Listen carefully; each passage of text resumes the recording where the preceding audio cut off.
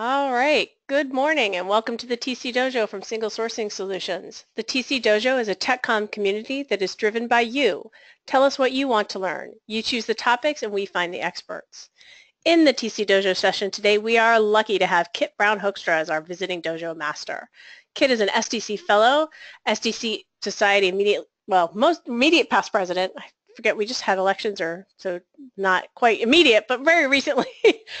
She's the experienced consultant with 25 years of experience in technical communication, much of it working with localization teams.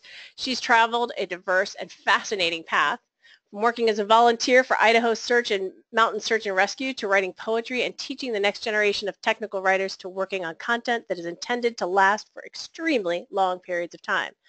Like that, working for teams working to restore and recover Superfund sites. How cool is that? As principal of ComGenesis, Kit provides consulting and training to her clients on a variety of topics, including localization, content strategy, content management, and she speaks at conferences worldwide. She publishes regularly in industry magazines. Her blog is pangeapapers.com. It's been my fortune to get to know Kit over the last couple of years, and we are grateful she agreed to be our visiting TC Dojo Master today. Now Kit says she'll take questions as we go, so type them in when you think of them so you don't forget what you wanted to ask. If you wanted to ask your question directly to Kit, just put that in there and I'll unmute you when she reaches the next natural break. Kit, I will pass control to you. Show your screen and it's all yours. Okay. Hang on one second while I make sure that I'm sharing the right monitor. So everybody should be seeing my looks great. My title slide. Great. Thank you everyone for coming today. I this is a topic I'm passionate about and I love talking about culture and multicultural communication and working with people around the world. Um, today, so we're going to do some introductions. Um, actually, Liz already introduced me, so I'll just flash up my slides so you can so you can see the um, my Twitter feed. Um, we're going to talk a little bit before we dive into the nitty gritty of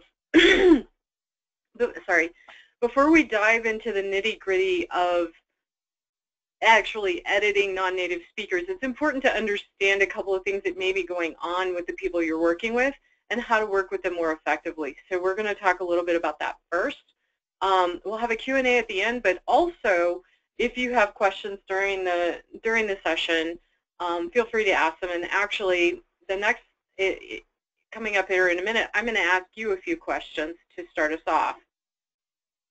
So um, as Liz mentioned, my blog is pangeapapers.com. I've been bad about contributing articles to it lately.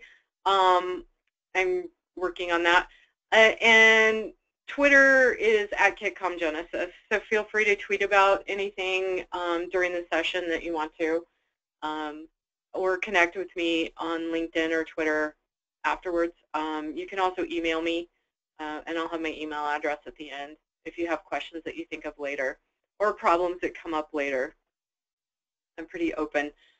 Um, so as we get started, I want you to think about what are your multi multicultural experiences? What multicultural experiences have you had? Do you work with people from other cultures? Have you traveled to other countries? Um, do you speak a second language? And if you do, how fluent are you? And then what are some of your biggest challenges when you work on a multicultural team?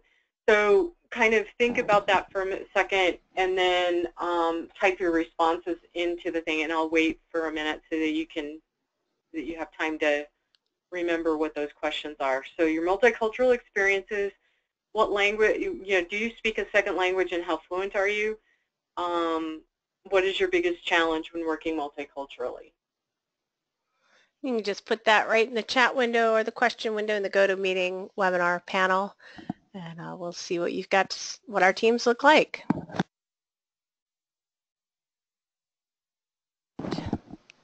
Neat. Jeopardy Yeah. wow, that's cool. Eight years in West Africa. Speak Bassa or did. Very cool. Oh, that's awesome. I speak five languages and yet it's difficult to work with local cultural references, many of which just won't plain just plain won't translate. Also cool mm. observation. Yep. So for those of you who have lived multiculturally, the, the next section will be a little bit of a review for you probably, but um, feel free to chime in with some of your, you know, if you have things that you want to add, um, feel free to chime in on that. Um, do we have any more, Liz, or? Many years of multicultural experience, including being the only native speaker of English on the team. Speak three languages. Wow, that's cool. Wow, so we have an experienced group here today. That's great. Um, Our last so, one says mo mostly project management in several countries, recently editing academic docs. And we'll send it back to you now, Kit. Okay, great. All right, so as I said, this next section might be a little bit of review for those of you who've worked multiculturally, but we have a variety of people on the phone, um, some of whom are just starting out working multiculturally. So if you have things to add, if you have a lot of experience, please feel free to type them in the chat and Liz will call them out to me. Um, so there are a couple of different ways of thinking about culture. What is culture? I like, um, culture kind of dictates how we view the world, right? And it, and it imbues every aspect of our life with a certain way of thinking, behaving, or working.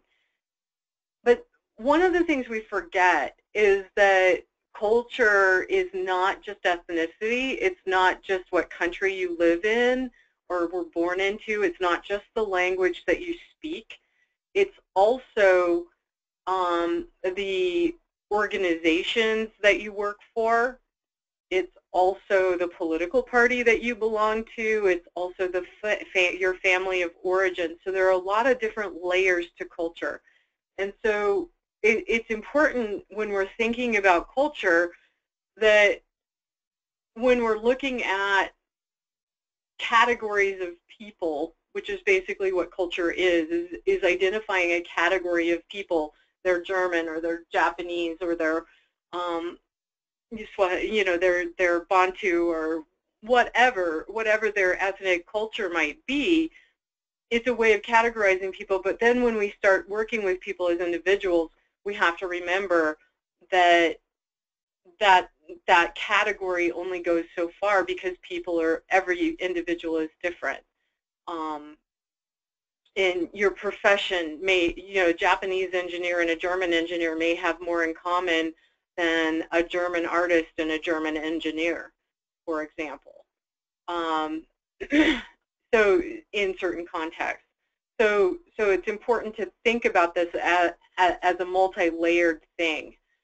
It's also an iceberg. And those of you who've worked um, multiculturally know this intuitively. The things that get us in trouble are not the things that are obvious that we can walk down the street and immediately say, that person is another ethnicity or, an, uh, or from another country or speaks another language or whatever, um, those things are obvious and we can work around them.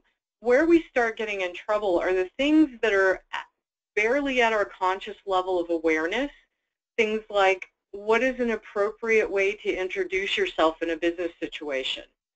Um, what table manners are expected? of you in certain countries. Um, you know, things like that that you're aware of as cultural um, mores or societal mores, but not at, but it's only at a partially conscious level and it's only when you're confronted with that difference that you realize. But the things that really get us into trouble are the assumptions that we make about the way the world works that we're completely unaware of um, until we're confronted with something that makes us uncomfortable. And one of the things when we're working with people who are from other cultures, especially cultures that are very different from our own, that we have to keep in mind is that there is no one right way to do something.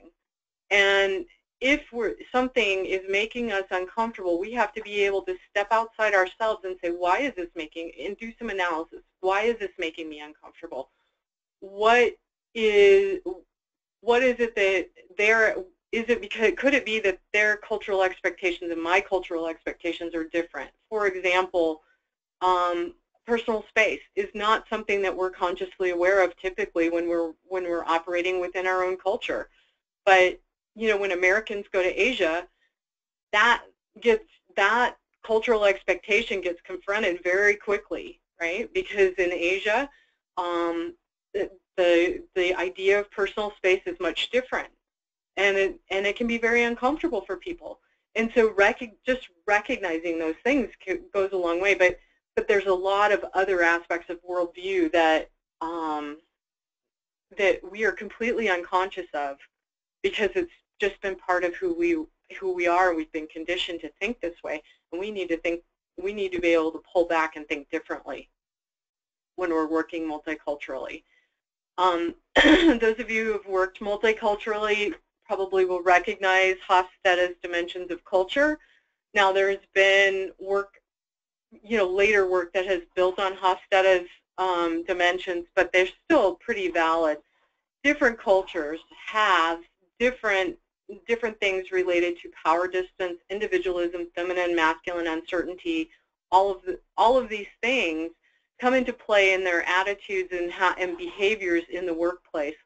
And we need to recognize that you know, your that someone's idea of time, someone's idea of whether it's appropriate to question you as the editor or whether it's appropriate to question you as the boss, um, we have to create a space and a, we have to create our own team culture when we're working multiculturally and make sure that we are being clear about what people, um, what the expectations are because some cultures need more explicit or, or tend to be more explicit than others.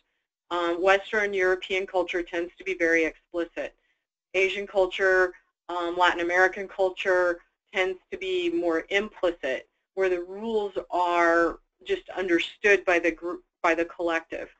Um, it, it can be very challenging to, as a Westerner, to go into those cultures and be successful because the rules aren't obvious.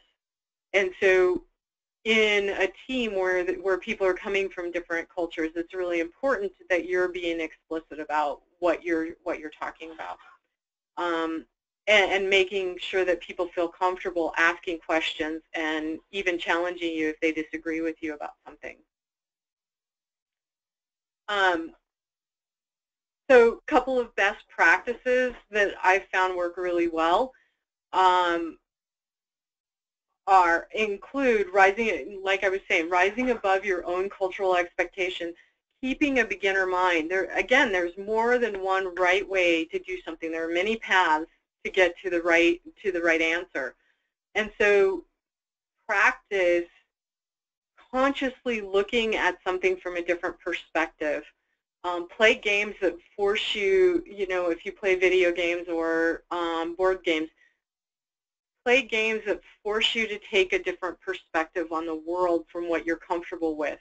Um, if you tend to be a very logical person, try to think about, try to, try not to think, try to feel something.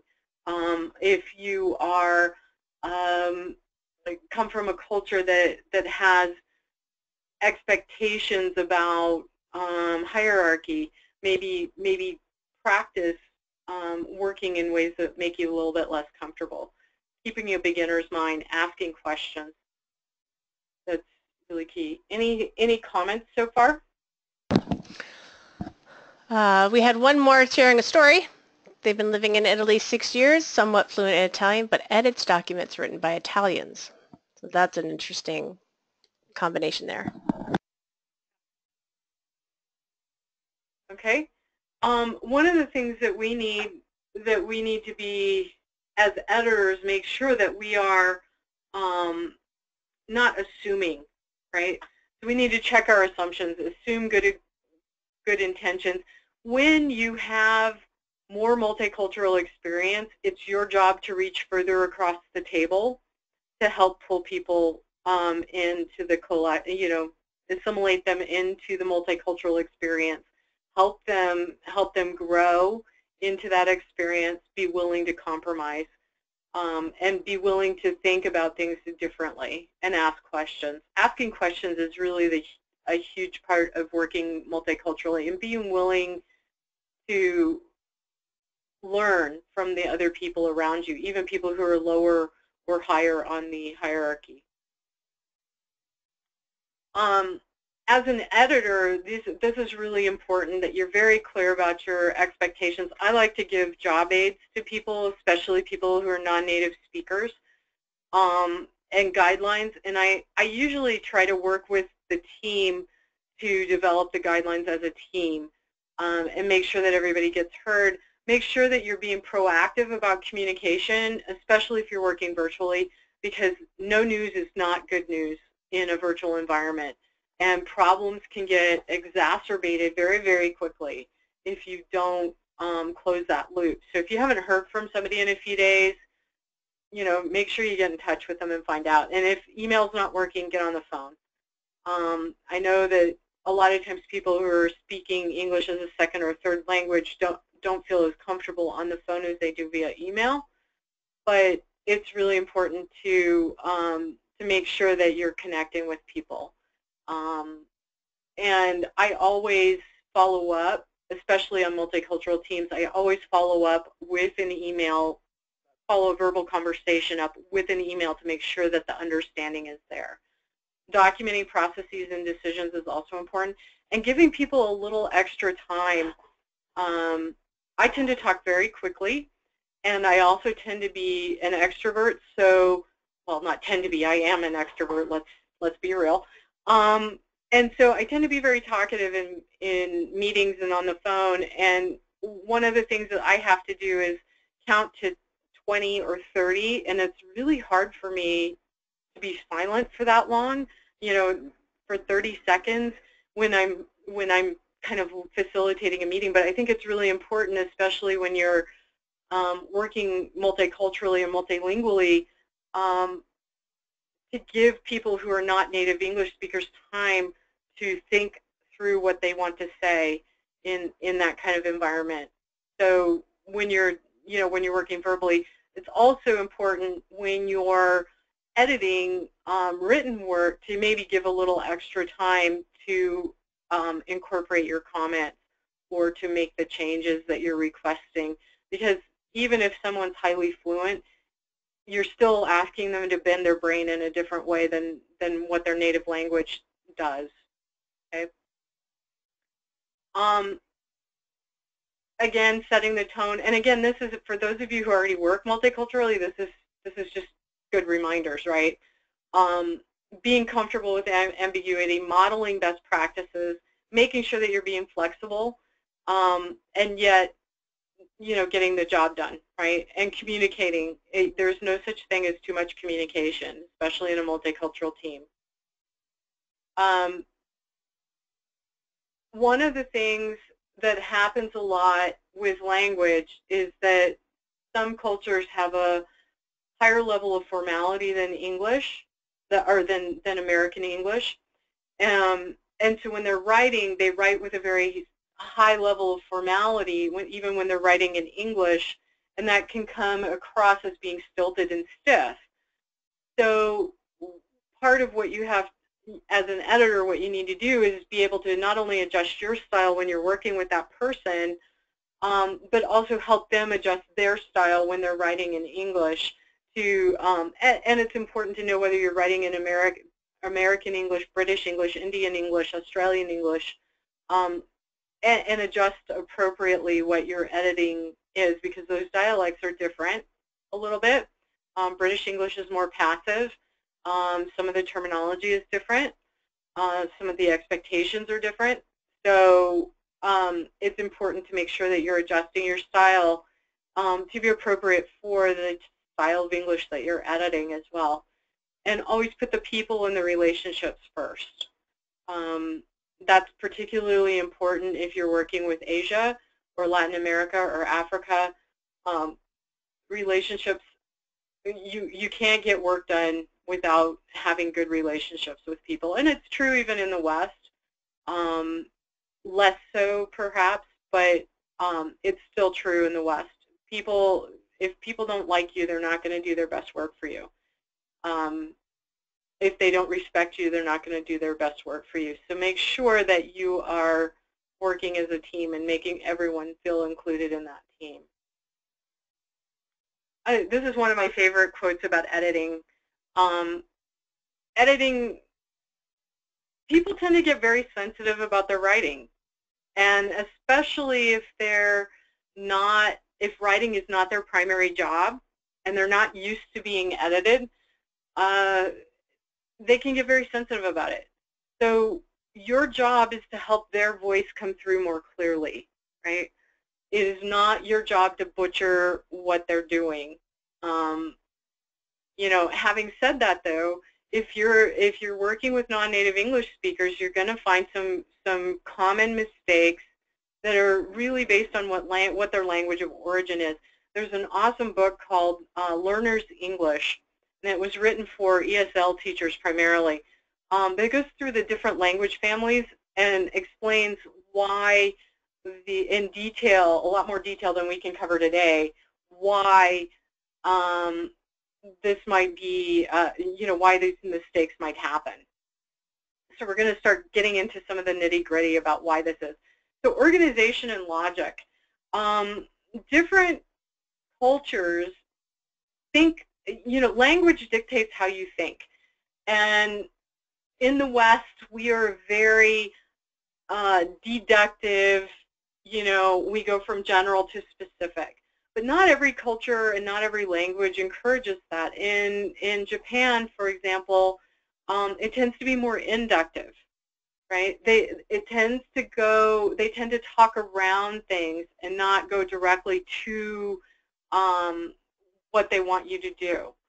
Um, and they find that when things are worded in in West, you know, the Western way can be a little bit harsh and can feel harsh and and too, um, you know, too straightforward for them. So when you're working with people, what you'll find when people write in their second or third language is that they tend to follow the organization and logic that is dictated by their mother tongue. Okay, so what you will find is that it might take, um, you know, the Ger you know, if it's a German guy, he he'll be very cut and dried. You know, it'll be first this, then this, then this, then this, then this. But if it's somebody from Japan or China, they may take a while to actually get to the point of whatever it is that they're talking about because that's the that's the lang that that's what their mother tongue dictates, right? So it's really important to think about that. Does anybody who's working um, with other languages on a regular basis, do you have some, does anybody have an example of where this might be true? Take a couple of minutes, type in your answer. Um, Kit, if you want to step on while they type, I will interrupt you as soon as I have answers. Okay. Um, here are some examples uh, from Engrish.com. And to a native English speaker, these sound very funny because they're not they're not direct enough to know really what what is the message meant to be. Um, and and they're they're talking around the problem instead of coming straight to the point, right? Uh, so it can be hard for a native English speaker to figure out exactly what's going on.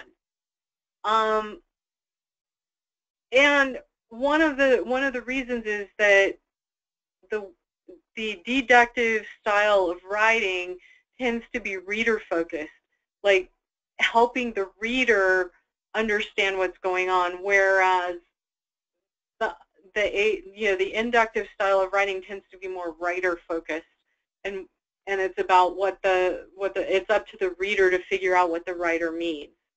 Okay, and it's a different perspective. It's not wrong. It's just different. But it, when it's something is translated into English, it can cause confusion. Okay.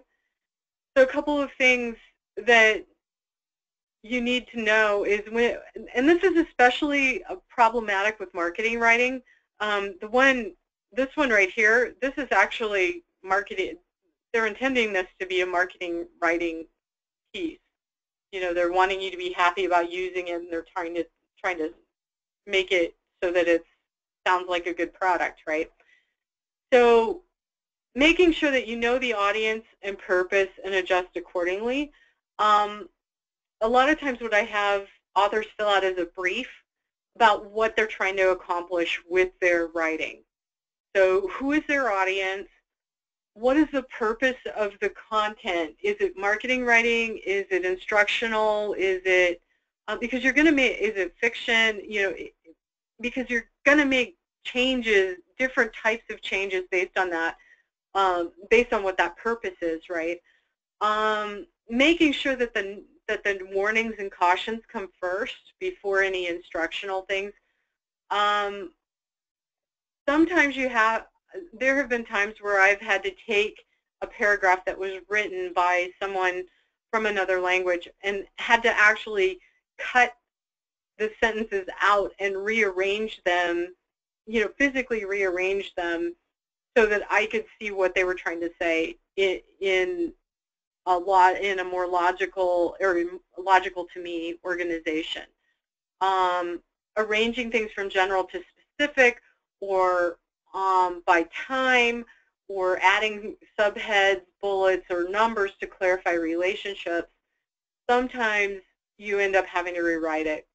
Um, that is not ideal because really your job as an editor is to help maintain the, the author's voice while at the same time, um, you know, helping their helping them be clear about what they're trying to say.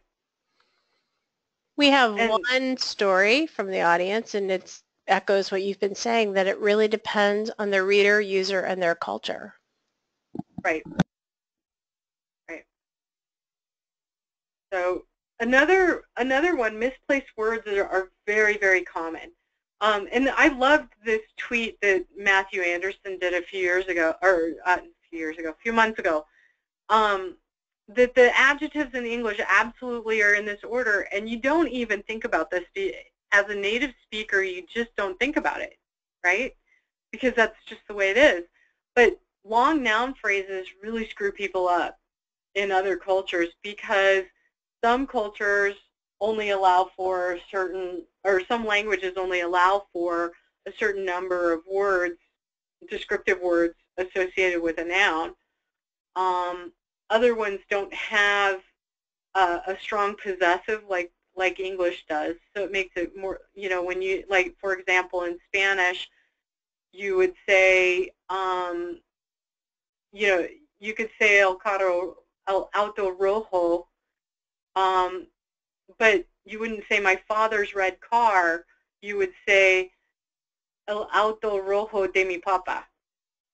Okay, so it's the red car of my father, right? The car to or to transliterate the car red of my of my father. So when you have lots uh, and a lot of languages put the noun first and then the adjective, but English the English and Germanic languages put the adjective first and then the noun. So when you have a long noun string, you end up with people not knowing where the emphasis, what's the most important word in that string.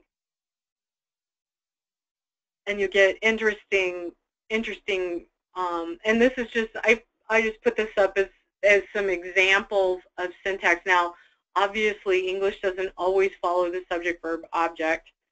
Um, but if you're using active voice, that's what we do, right? This is just the typical. This is not like every, I'm sure there are exceptions in every, every example, right? Um, the other thing that we don't have in English that a lot of other languages do are gendered nouns. So boat is boat. You know, it's not masculine or feminine or anything. It's just neutral. But if um, or cat, like say cat is a neutral is a neutral noun in English, but in Spanish it's gato, and that's a masculine form, el gato. Okay, so you know in other languages you and I'm using Spanish because that's the language I'm second language I'm most familiar with, even though I'm not fluent. Um, but but the same is true in other languages where you have where it depends on um, the noun can often dictate how the not only the verb, the form of the verb, but also the order of the sentence, right? So so what's being talked about can can dictate um, endings. In Polish, there are seven cases, and so it's not just numbers, um, or it's not just gender, but it's also the number of things being talked about, um, the um, the case of, you know, you know, the context in the sentence of where it's being talked about, whether it's the object or the subject of the sentence, or whether it's being used as a noun or an adjective. So it's really important that, I mean, this is just like a the base, you can dive deep into the linguistics and um, it, it, becomes a rabbit hole after a while. But um, but this is just to give you an example of how how the syntax can be so different in each language. And it explains why you get things like I came already there, which in English you know what it means, right?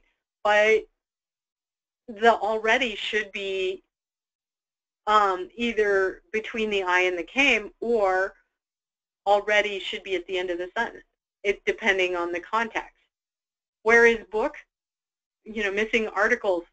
Slavic languages don't have, and many other languages don't have articles. So they don't, they don't tend to use them in their English. Um, for languages where it's not subject, verb, object, they can forget that they need to put um, the object after the verb in English, right? Um, some languages don't have to be verbs. So they, if you don't have a to be verb, it's easy to forget to use it, right? Um, when when you're doing negatives, depending on where that goes in the sentence. So it depends. It really depends a lot on the the language that you're working with, what types of mistakes you're going to see most often with word order. Um, but these are some of the common ones. Um, so you know, the easiest thing is just to fix it, but then explain why you why you made that change. Um, at least the first time. So one of the things that you have to be careful about when editing non-native speakers is you could probably be correcting every sentence, but if you tell, if you explain the same mistake multiple times, then it becomes really hard for them to, they get overwhelmed.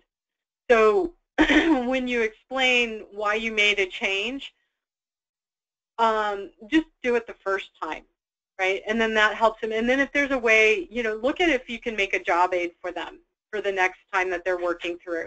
Make sure that you're using correct grammar and terminology, grammar terminology as well, because people who study a language formally have learned the verb and noun declensions, have learned the genitive nominative case and stuff like that. So make sure you know those correct terms for the English, um, the infinitives, the gerunds and all of that stuff. Make sure you're using the terminology correctly.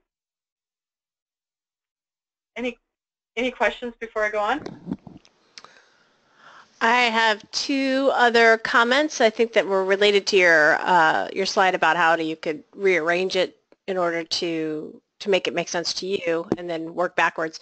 Uh, they were both real-time solution and real-time saver. Mm-hmm. And I have a question for later, but I'm going to hold it because they asked me to. Okay. All right, great. So word choice. So one of the challenges in English is that it doesn't just borrow from other languages. It follows other languages down dark alleys, knocks them over the head, and rifles through the pockets for loose grammar. English, sorry, English is a, is a Germanic language. 70% of the vocabulary is from the French. And there's a bunch of words from a bunch of different languages thrown in there just kind of randomly. And we just kind of co-opt them. And this is this is especially true when you start looking at um, regional Englishes like Indian English or Australian English or British English or American English. And sometimes the words being used don't mean the same things even in English. So that can be very challenging for people to know what words to choose. Then when you think about how much how many words there are in English versus other languages, um, it it can be mind-blowing because there there are words in English that have very nuanced meanings. We have a lot of synonyms for for different things, but they have nuanced meanings depending on context.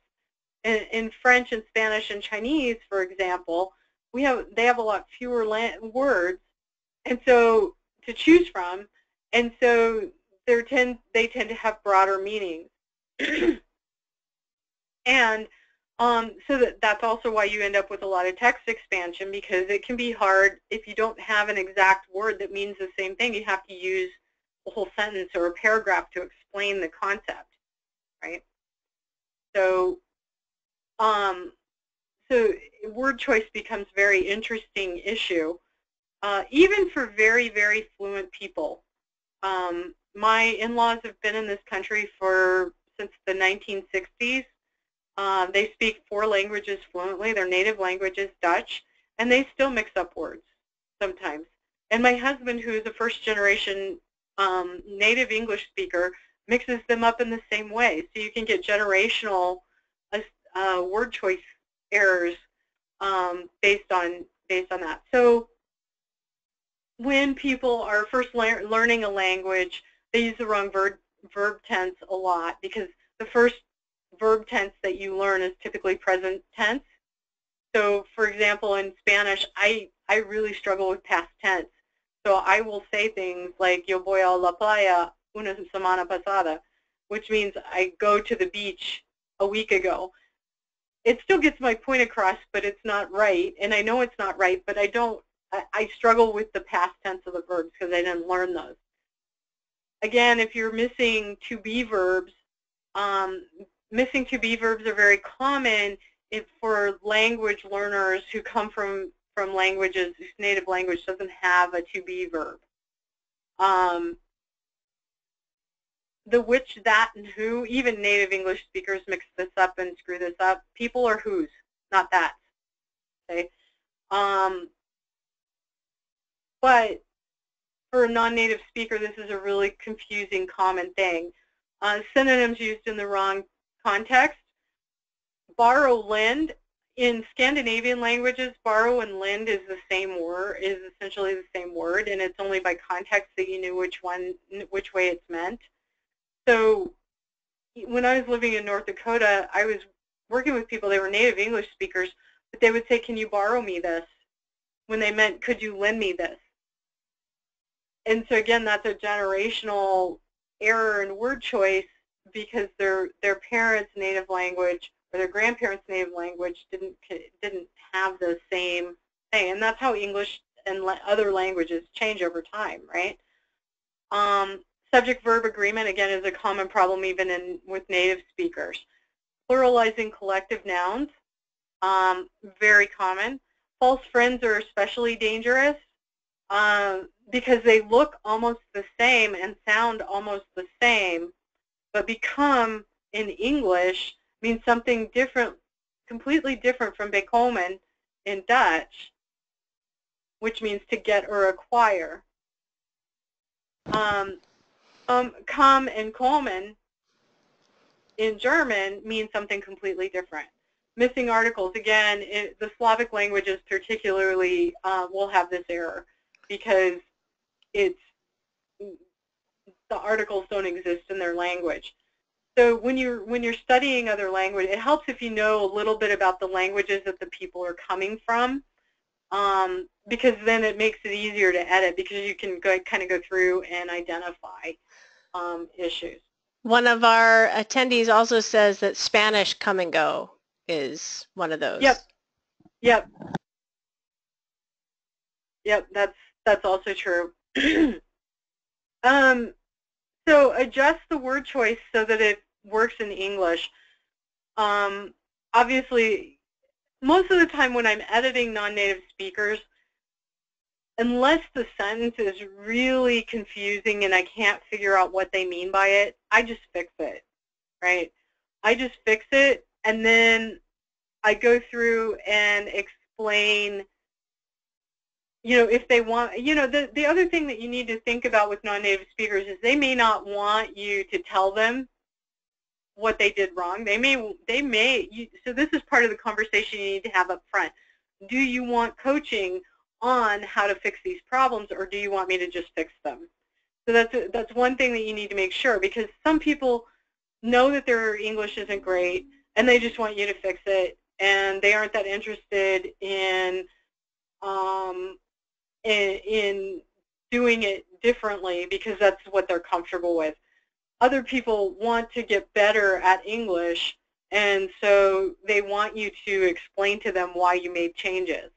Um, and they may ask you very pointed questions and very detailed questions, so making sure that you're using the correct terminology when you're explaining it and being able to justify your changes is really important, okay? Um, and document it, um, even if you're, you know, you don't want to, sometimes I print it, print it out. I mean, I, you know, I know most of us do editing online anymore, but when it's something that a non-native English speaker has written, I will sometimes pre-edit it in a printed version because sometimes it's easier to go back and forth to see exactly, you know, I'll read through the whole thing um, before I really make any major changes to it to make sure that I'm understanding what they're what they're trying to accomplish.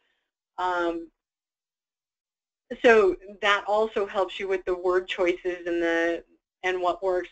One of the other things that I do is uh, if you're you know, if you're working in a company, is making sure that they have access to the glossary that and preferably the multilingual glossary that kind of identifies the preferred term in English for all and the preferred term in the other languages so that if their native language, for example, is German, they can see the multilingual in the multilingual glossary that this German word should be translated when they're writing in English to this English word.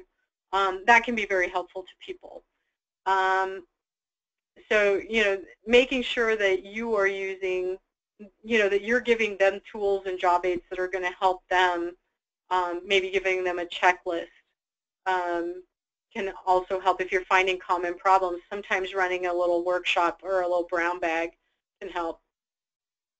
Punctuation is an interesting one because um, a lot of languages don't actually use a lot of punctuation, and so it can be really confusing for people. And, and in addition to punctuation, I would say formatting can be a problem. Um, with Asian languages particularly, uh, the ideographic languages don't typically use bold because when you do, and it's a small font, um, a small type size, uh, the bold kind of causes the strokes to blur and it makes it harder to read. So what they tend to do is put quotes around things that are bold and where we would just bold it, for example. Um, apostrophes are used differently. In Dutch, an apostrophe S is a plural and not a possessive. And so while the Dutch, most of the time you don't have to edit people, you know, they're writing very much, that is one area where they tend to tend to um, have issues because the word, the, the plural versus possessive is, is done differently. Um, comma placement can be different because they, they, when they read, they tend to read in the cadence of their native language. And so if their native language has comma, commas after um, certain in certain places that English doesn't have them, they'll tend to put them there. Another problem that you run into is hyphenation or compound compound adjectives. Um, German, uh, Dutch, some of the other ones create compound words based on um, based on what the noun is and what the adjectives are. And so um, you can sometimes get people forgetting to put spaces between the words um, or over hyphenating. Like three alarms should be hyphenated, but not fire in this case. Another problem that you have is if nouns are, with Germans, is that a lot of times in English, they'll capitalize the nouns even though, even though they shouldn't be capitalized in English because in German, nouns are capitalized. Conversely, in other languages, you don't capitalize like days of the week and things like that, and so they may forget. So um, those are just some examples from different languages. Um, I usually just fix the punctuation.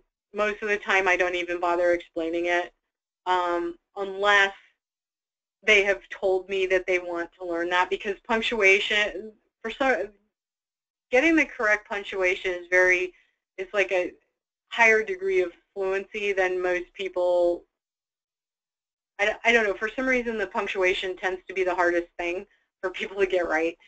Um, so and, and that's true of native English speakers too. So I usually just fix it. Um, I usually, if if they have long sentences, I usually just break it up into multiple sentences, making sure that you know.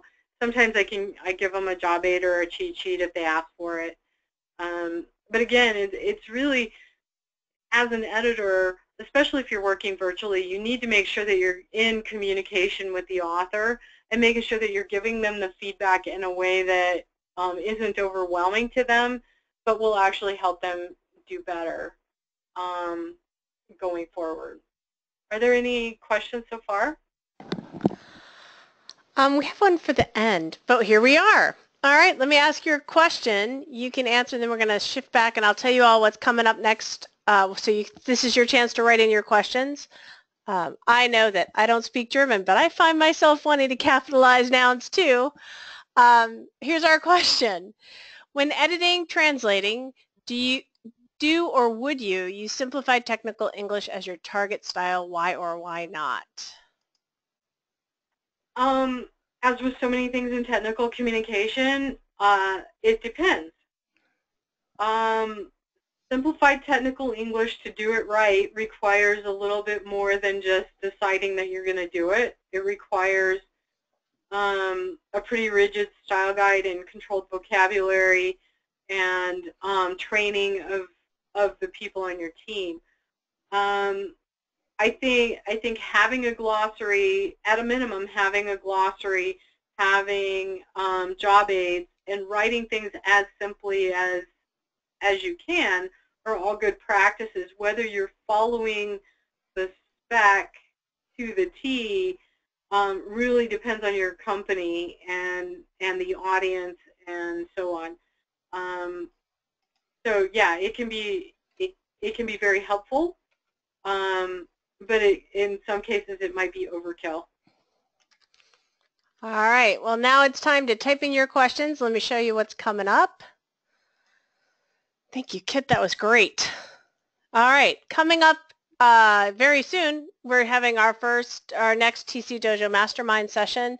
Uh, the Mas TC Dojo Mastermind Group is a monthly driven discussion group where attendees present, present specific technical communication challenges and topics on their mind in a confidential, supportive environment.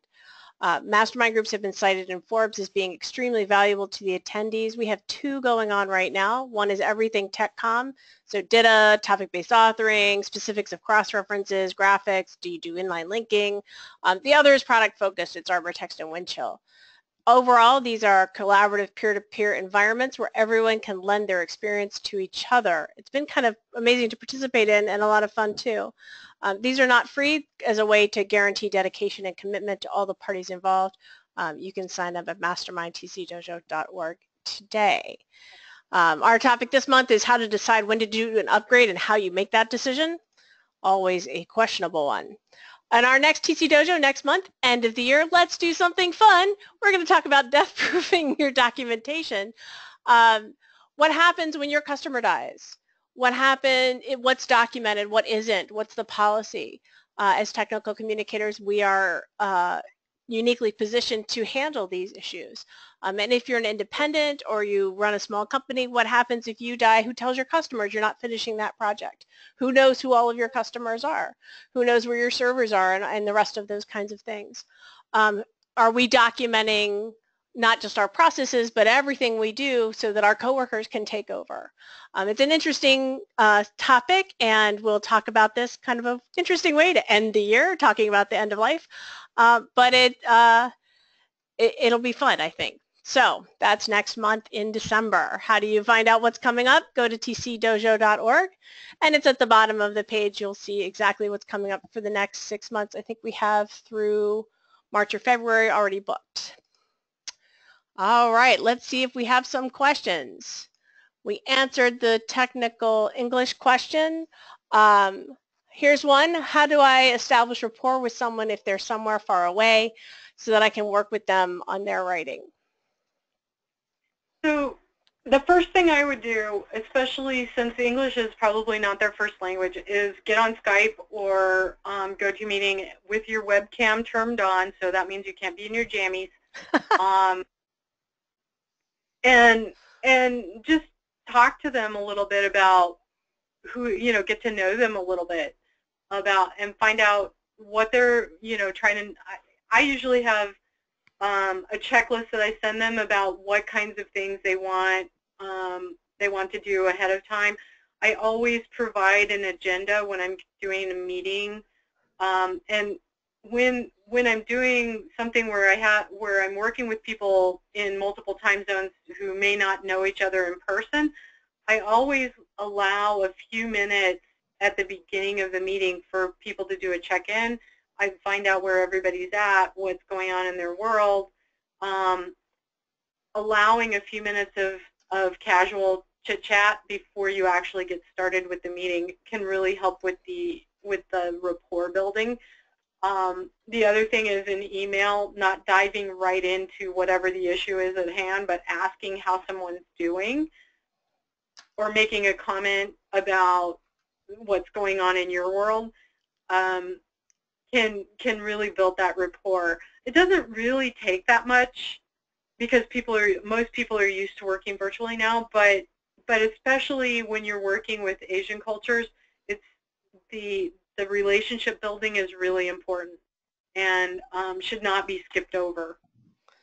That sounds like a key for helping um, smooth over feedback or at least give and receive feedback. Yeah, absolutely. If I'm giving feedback verbal, I, I usually try to sit down with an author um, when I'm editing their work the first, especially the first time, because seeing all of the edits on the page can be a little overwhelming. So I tend to sit down with them.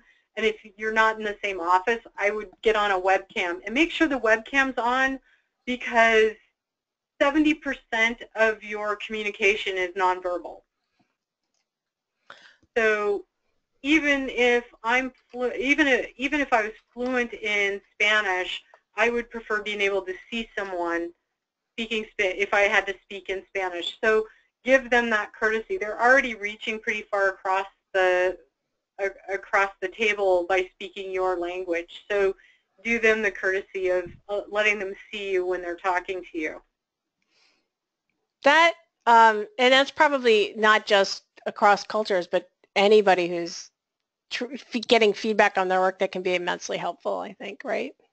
Yeah, yeah, because it's it's it's hard to um, those nonverbals uh, can, are so important in in reducing miscommunication.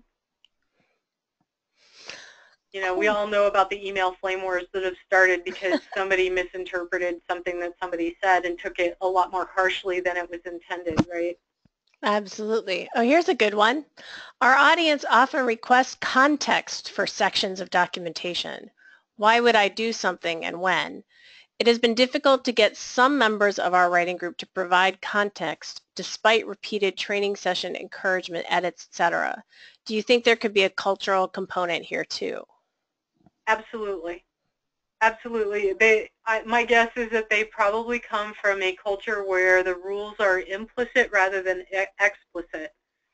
And so um, the assumption is that, that people understand the context, right? Whereas with um, English documentations, particularly American English, we tend to be very explicit about the context in which somebody is doing expected to do a particular activity.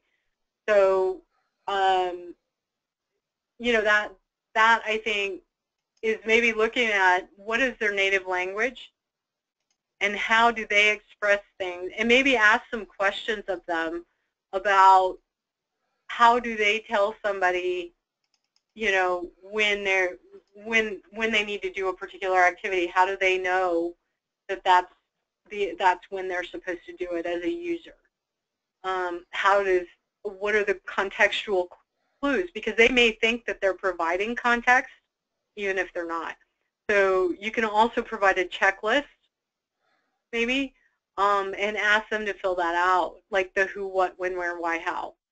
Um, you know, maybe give them a little more context for the question. Why is it important? They may not be understanding why it's important. Excellent. All right, we have one last question. I find it interesting you uh, suggested to play board games. I would love for you to give some examples, maybe on the blog, because I know you're going to have to think a little, um, that apply to different languages, cultural situations, a kind of match up for explorers, so to speak. Can you say that again? So you, you talked about playing board games, right, to give yeah. you a way to get out of your comfort zone. It'd be interesting if you could do sort of a, maybe a blog post later, because I know you're going to have to think about it, um, a nice sort of match up between if you're trying to explore this culture or this language or this situation, try this board game. Oh, yeah. Um, well, actually, I just I just funded a Kickstarter that's talking about um, it's a language Kickstarter, the language game Kickstarter. Cool. All right. And I'll have I'll yeah. see if I can I'll see if I can find the link and I'll send it to you, Liz, and then you can send it out to everybody. Absolutely. Um, but yeah, uh, one of the games that I that I was thinking of that's a it's available on off of it's called Dark Dimensions, and it's a three-dimensional cube. It's a matching game. It's very easy matching game, except that it's time. You know, it's a timed matching game, which makes it hard.